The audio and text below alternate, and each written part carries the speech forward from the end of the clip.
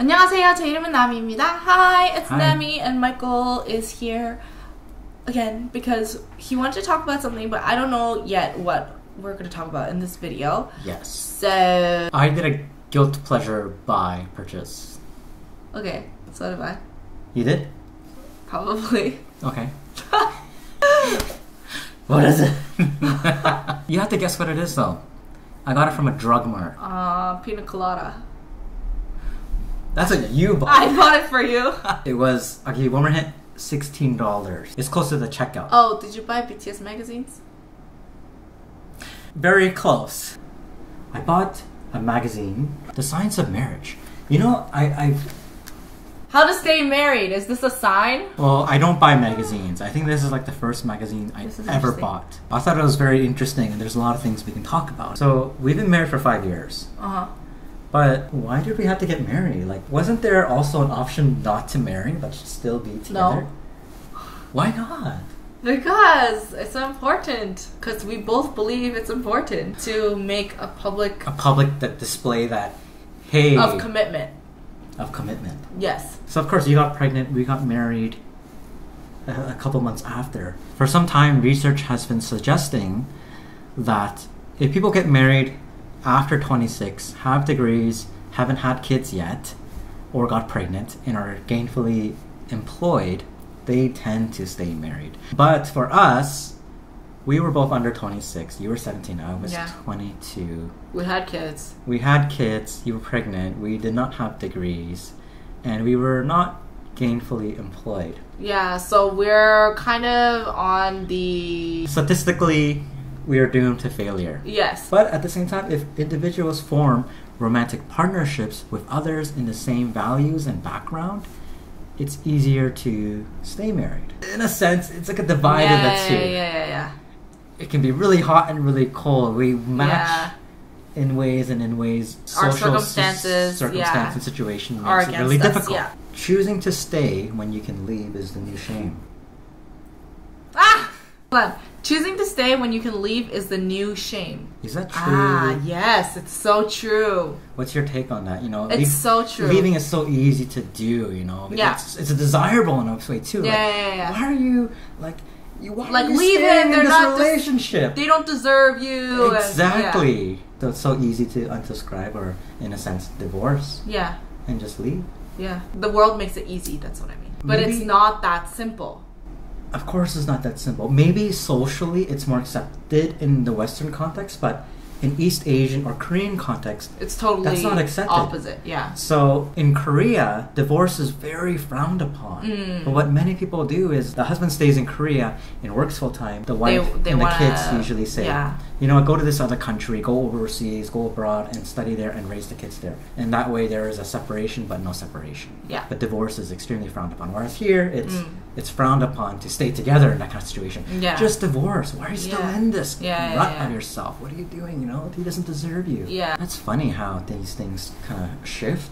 I wouldn't be surprised if it shifts again in next generation. Yeah, that's In true. the other way. Yeah, and then people start saying, "Why are you leaving? Like, do your yeah. best." Yeah. Yeah. It's the same old things Happening to happening new to new people. It's a recycling of the Mm. same event. Another comment that I found really interesting is that in later marriage, Mm. our relationship will become very much like it was during courtship. I feel like it's always been. I feel like our relationship hasn't really changed that much. The only thing that has changed is our ability to communicate, And- which has gotten better. Our hobbies have changed. Our hobbies have changed. The essence of our relationship, I feel like, is still has always been the same in terms of our dynamic values. I think we've definitely gotten closer in terms of relying on each other and trusting each other, but the degree of amount of investment in work or hardships has always been the same. Yeah. It's always a working process. yeah, yeah, yeah, yeah. I find it a bit difficult these days though because of two kids. Yeah. Speaking of kids, Mhm. the biggest disincentive to divorce, Yes. Is kids. however, may be the same as one of the biggest drivers of divorce. Oh. One of the biggest factors that make you not discourage you, Yeah. from divorce is also one of the major factors that encourage you to divorce. Okay. When was the last time you thought about divorce? Not seriously. Yeah, not serious. But like you think of it like I'm so angry at this point, I just say let's divorce or like Let's divorce. I just say that to hurt you. And it works. I succeeded. Oh. Uh, When we do get into conflict, sometimes we don't. Neither of us want to be the first one to either we're very uh, stubborn, both of us. that stubbornness brews a perfect storm environment for contempt Yes, and resentment. and resentment, Mm. and that is the one thing that you want to avoid at all costs. Contentment destroys vulnerability, Yes. but vulnerability is the prerequisite for intimacy. And Yes. what we want is intimacy. Without Yes. intimacy, commitment is a grind. Yes. And in a marriage relationship, it's all about commitment. Marriage spells commitment. Yeah. But in the commitment, it also leads to freedom. So that's precisely why in Ephesians, husbands are called to love their wives as Christ loved the church. Because Yeah. Jesus, Because what Jesus he just looked at the cross. Yeah, look at him. He was spat on, he was abused, he was murdered, killed. So honestly, Nami, like I can't do it. So I need God's help. Yeah. Yeah. I think you do too. Yeah. The most successful couples begin to embrace one another's interests.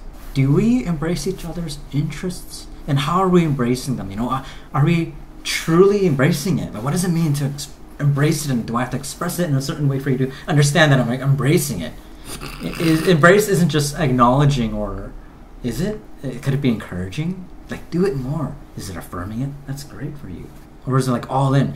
I'll embrace it with you. You start dancing. Let me dance with you. You know, like you start skydiving. I'm gonna skydive with you. Well, what is your interest? I know all of mine of recent, but what is yours? I love reading. Reading. I love studying, Yeah. relaxing, traveling, and doing nothing. How about doing the dishes and cleaning the house? Well, that is therapeutic in a sense, but it's still work. Yeah. Tori Zua asks, since you've been married, what is a hardship that took a very long time to overcome? I think all difficult hardships are always being overcome. Hmm. Some things take a year. For example, is- issues related to like emo- emotional infidelity, Mm-hmm. physical infidelity. Mm-hmm. For us, things of that degree would take like a year, like Mm. like three four months to kind of talk about Mm-mm. and discuss, you know, what happened, break Mm. it down, and then another six months to really heal. Mm. Uh, And then every time something else comes up, all the old ones related to that would come up too. right. So it takes like more. Sisam asks, "Are you feeling in love with each other as much as the first day?" I think every day is an up and down, but Hmm. overall, I think it grows because of how well you know each other and how. I think that it also depends on how well you're communicating and how Hmm. well you are staying in tune with each other. Yes. How well do you know each other? Yeah. But overall, I think that does grow with little ups and downs. So that's it for this quick random discussion. Hmm. I hope you enjoyed it. If you'd like to see more of this type of content, we do have a lot of these types of talks and discussions on our family channel, which you can find by clicking that small little I. Until next time, bye! Today's feature comment is from Hanan Salah. You look like Pocahontas. Thank you for your comment, Hanan. Fun fact I used to dress up every year in the same dress. It was like just a cream dress that my mom cut off an arm of and sewed for me. Every year I was Pocahontas because we couldn't afford costumes. And everyone said I look like Pocahontas because my face is kind of similar with like kind of a jaw and then like kind of small eyes and then kind of long black hair and kind of tan skin. When I was growing up, I was really tan because I played every day in the sun. Do you have like childhood costumes that you always wore the same of? Or were you the type of child who wore a different costume every year? Or were you the type of child who didn't go trick-or-treating and didn't celebrate? That is it for this video. I hope you enjoyed it. Definitely make sure to subscribe and hit that bell if you did to become part of our nacho fam You'll also be notified right when videos come out. That's usually the time that we do take to reply to your comments. I do post every day on Instagram, Twitter, Facebook, and Snapchat as well. So I'll check you out on those platforms if they are platforms that you use. And I'll see you next time.